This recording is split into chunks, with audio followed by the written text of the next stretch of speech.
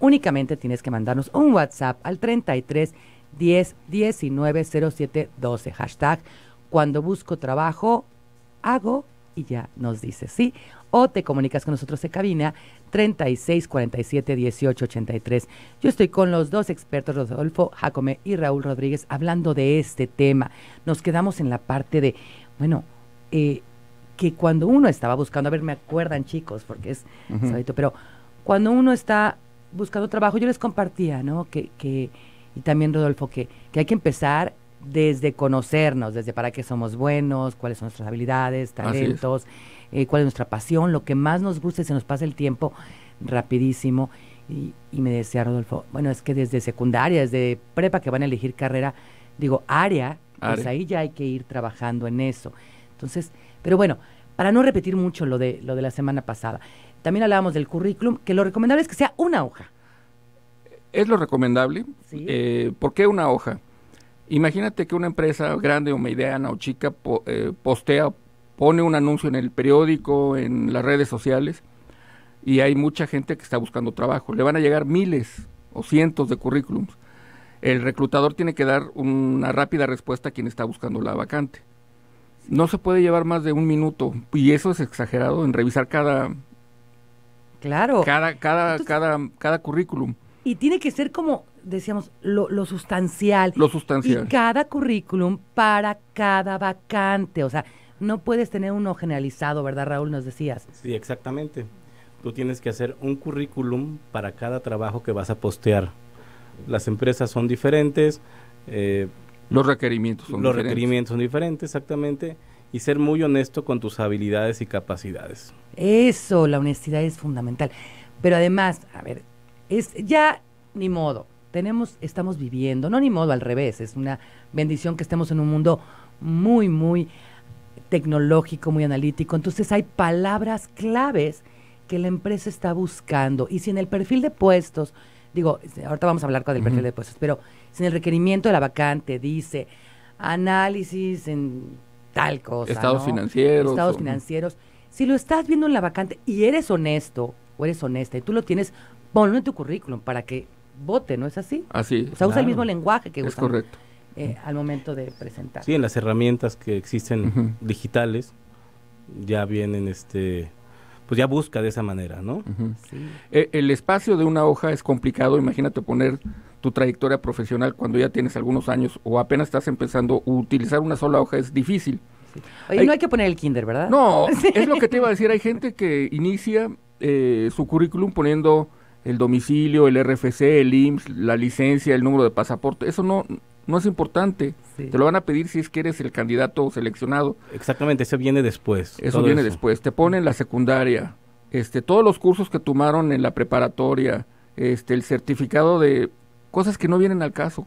Nuestra sugerencia es, comienza de tu empleo más reciente, el más actual, y pon el nombre de la empresa, el sitio de internet, el www, si es que la empresa lo tiene, los años y el tiempo exacto que estuviste y el giro principal de la empresa, una mededería, una comercializadora de X. Y brevemente las actividades que realizaste, brevemente. Brevemente, las actividades que son las funciones del puesto, pero más importante, los logros que obtuviste durante tu permanencia o tu estancia en, ese, en esa empresa. Porque el puesto, los, las funciones ya las sabríamos. Lo que es importante es que menciones cuáles fueron tus logros en ese espacio que profesionalmente estuviste colaborando para esa empresa. Claro, bien, y bueno, la semana pasada nos quedamos que vamos a ahondar más en la entrevista. Y hablando de entrevista, quiero aprovechar para mandar saludos a Arturo Buenfil, que está siguiéndonos desde Tijuana. Un abrazo. Y alguien que también sabe de recursos humanos, Rosy Covarrubias, te mando un muy fuerte abrazo. Y ya están participando Lupita Andra, André, Andere, Gustavo Cuellar. Aquí no me ponen su, su, su nombre. Acuérdate que si quieres participar por este kit de belleza facial, pues ponme el nombre para poderte decir. Y hablando de la belleza facial, qué importante es la presentación en una entrevista, ¿no creen? Sí, la presentación tanto de tu currículum, insisto en eso, como de tu presentación personal. Te citan una entrevista, trata de llegar por lo menos 10 minutos antes a la entrevista. Eh, ve con ropa presentable, Mm, eh, ¿Qué es ropa presentable? Ropa limpia, eh, No, no es necesario que vayas de traje, a menos que sea un puesto ejecutivo o gerencial, pero ve de acuerdo a tu o edad. bancario, ¿no? También en el sector Sí. financiero se usa mucho. Haz- yo lo que les pido es que hagan un que hagan la tarea antes de ir a la empresa. Ah, eso lo dijiste la semana. que se los eh, procura saber qué hace la empresa. Métete a su página de internet, eh, ve cuáles son los valores, la misión, la visión, conoce los productos que hacen y este trate de investigar un poco de la, de la organización para que cuando te hagan preguntas, ¿por qué quieres venir a trabajar en esta empresa? Tú sepas, pues porque me gustan sus productos, porque tienen presencia nacional, porque comercializan el mismo producto que a mí me gusta, etcétera, pero no llegues sin saber nada. Sí, no sabes ni qué. Así es. Y también lejos de lo que platicábamos la vez pasada, estábamos platicando aquí con Patti, tenemos empresas, muchas empresas que demandan gente para trabajar con ellos. O sea, lejos de lo que se pueda pensar, existe muchísima oportunidad para que tú puedas empezar a trabajar. A ver, cuéntame esto, está buenísimo. ¿Cómo Sí, claro, o sea, las empresas es difícil que las empresas llegan directamente con el con el candidato. Nosotros somos el link, somos el medio donde nosotros podamos empezar a ver qué perfil se requiere y para los chavos o la gente o, o- o el profesionista que quiere buscar un mejor trabajo, este, puedan llegar a la empresa que requieran. Eh, si ahorita alguien ya no, no está a gusto en su trabajo actual, pues puede mandarnos su currículum y nosotros podamos ver a dónde lo podamos este, Canalizar. Este. ¿De eso qué te parece? Porque eso es bien interesante, el trabajo que ustedes hacen, que es ese vínculo, ¿no? Para hacer ese match de, de entre candidato y empresa. Pero vámonos a escuchar musiquita, ¿qué les parece? Con Dos por Uno nos viene a cantar Jubán. Estás en 92.7.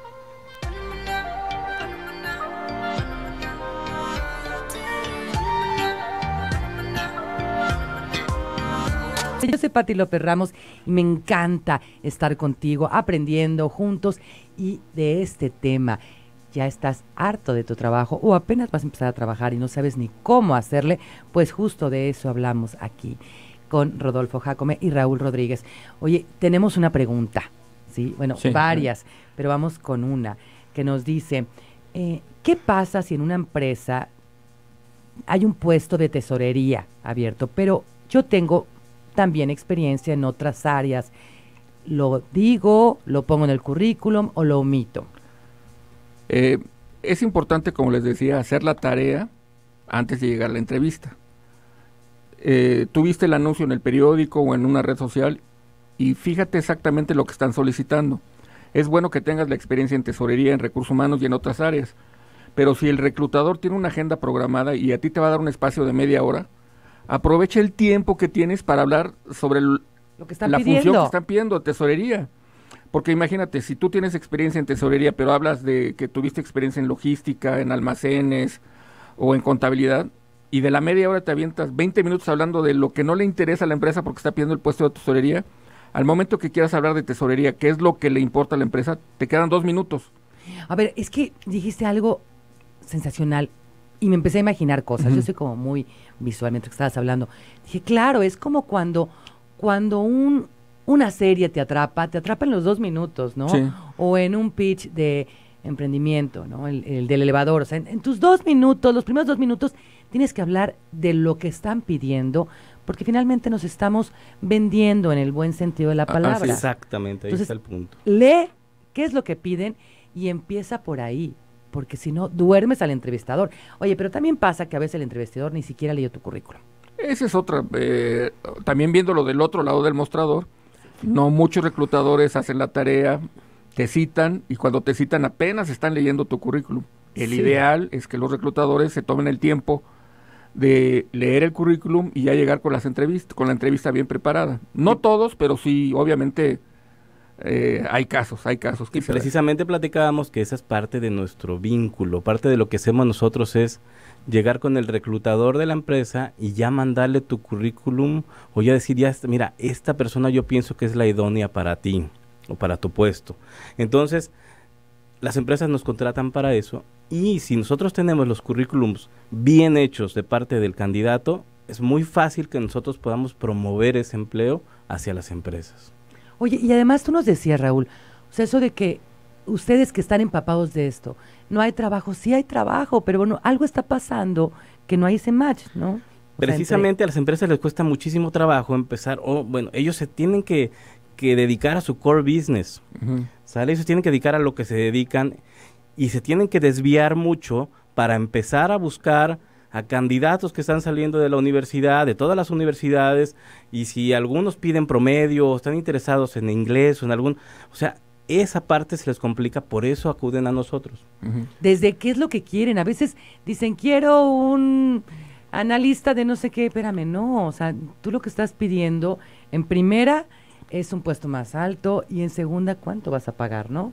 Ese es Así otro es. tema. En general, La verdad, la verdad. Sí, a veces dicen, yo, yo necesito un, un asesor Un financiero o un contador, y realmente lo que busca es otro puesto, ¿no? O sea, nos ha tocado... Sí, digo, nos ha tocado frecuentemente. Obviamente no en todas las empresas, dependen del tamaño de la empresa. Hay empresas que ya tienen el área de recursos humanos bien establecida, sólida, con organigramas, descripciones de puesto, roles, responsabilidades, segregación de funciones, pero gran mayoría de empresas no lo tiene. Entonces, el dueño, los accionistas, el consejo de administración, se avientan unos títulos de puesto y unas descripciones de puesto que, que, pues, que no van con una realidad y menos va esa realidad con el sueldo que están ofreciendo. O sea, la descripción de puesto es eh, el puesto para qué está diseñado que va a servir en la empresa. Así ¿Se es. puede es- así en la descripción de puesto es una carta donde viene el título de puesto, que tiene que ser lo más alineado a lo que va a ser, el objetivo del puesto, la finalidad, la responsabilidad y este cuáles cuál van a ser los alcances de ese puesto. Y el perfil del puesto, El- son las habilidades, las competencias, los conocimientos que ese ocupante del puesto debe tener para poder desarrollar el, el- el puesto. Y a mí se me hace bien importante porque eh, cada puesto tiene un, una razón de ser en la empresa. ¿no? Sí. O sea, tiene una misión. Por eso existe. Claro. Y si eso, desde ahí no lo tienen claro los empresarios, peque- los pymes. O medianos o grandes, hay de todo, hay de todo. Y nosotros los, los ayudamos a hacer una descripción de puesto. Antes de iniciar una búsqueda, nosotros los ayudamos a definir exactamente ¿Qué es lo que quieres? desde el título de puesto, qué es lo que quieres, a quién le va a reportar. Y luego nos dice, quiero que haga esto. Y, Oye, ya estás mezclando no dos, sino hasta tres puestos. Sí, Nosotros los ayudamos a definir más claramente esa posición. sí.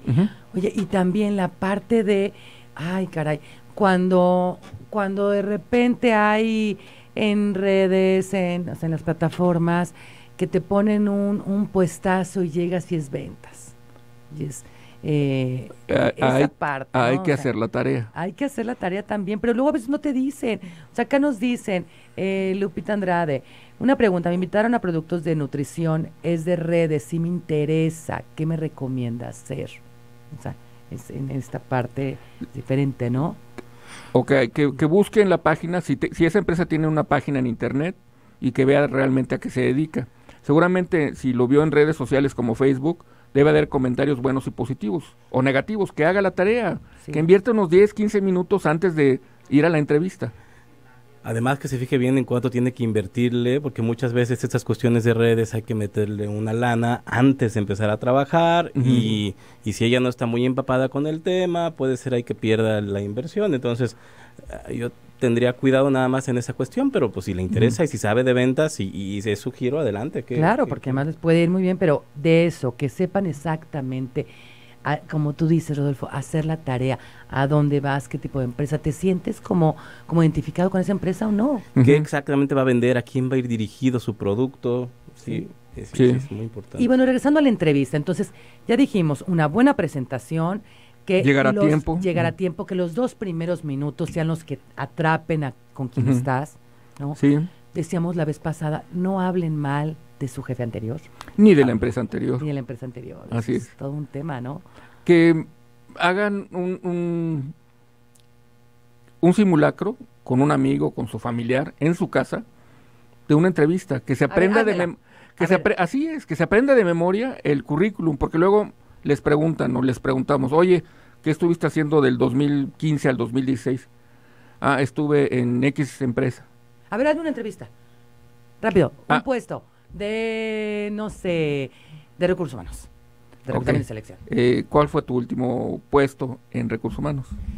Bueno, eh, mi último puesto este, em, no, bueno, o sea, ¿qué, Así qué- qué es. pensarías tú de un alguien que te contesta así? No, imagínate, si lo pides para el área de comunicación y no sabe ni siquiera expresarse.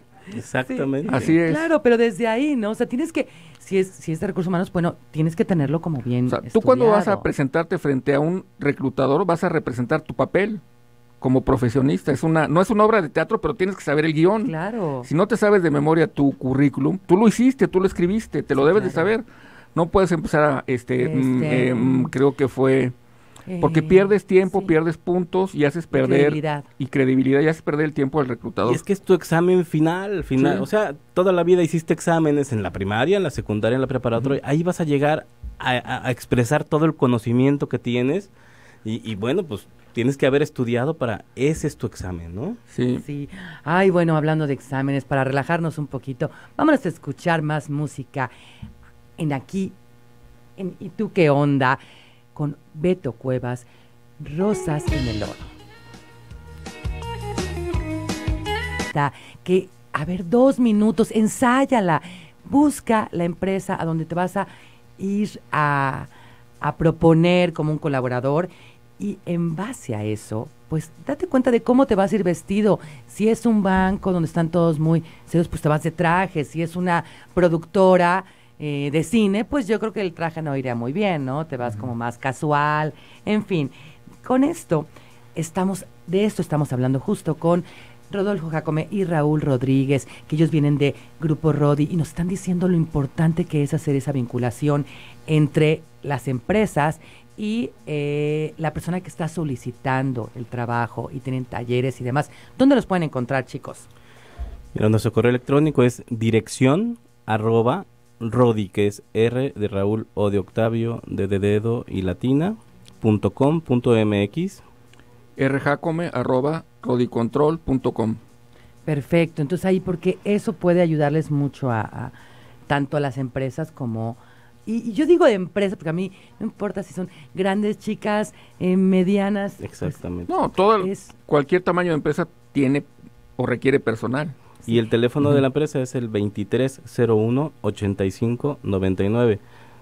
Sí, para que nos llamen, porque próximamente vamos a dar talleres para, para cómo presentarse en una empresa, para entrevista, cómo elaborar un currículum, eh, cuáles son los mejores sitios de internet para encontrar empleo. A ver, veme dando una adelantadita. ¿Cuáles son los mejores sitios de internet para Mira, hay muchísimos, no sé si se puedan decir los nombres. ¿Se pueden? Ay, no se pueden. Uno con O y con C de casa y C y así dice. Sí. Muchos. pero hay uno que es ejecutivo, que, a ver, si quieres ganar más de 60 mil pesos, pues ponlo ahí, ¿no? Hay niveles, Hay hay, varios niveles, hay unos que son gratuitos, otros que hasta tienes que pagar. Ay, una membresía, una, una, una anualidad. Hay de todo, hay currículums, hay una página que tiene los mejores headhunters a nivel nacional. Hay, hay mucho donde, de donde se puede hacer uso y nosotros damos esos tips ajá. para poder eh, presentarse bien a una empresa para buscar empleo. Y hasta Oiga. capaz si llegas con tu currículum, ya tenemos Ya, algo para sí. ti. Oye, pero a ver, vamos, vamos viendo, porque tenemos, hablando de algo para ti, tenemos una un kit, un kit de belleza facial. Ya le cambié el nombre, querida productora. Ya no es cosmetiquera, es porque además está buenísimo, cremita de día, de noche, para las ojeras, estas bolsitas de los ojos, eh, todo eso aquí en Radio Mujer lo tenemos para ti.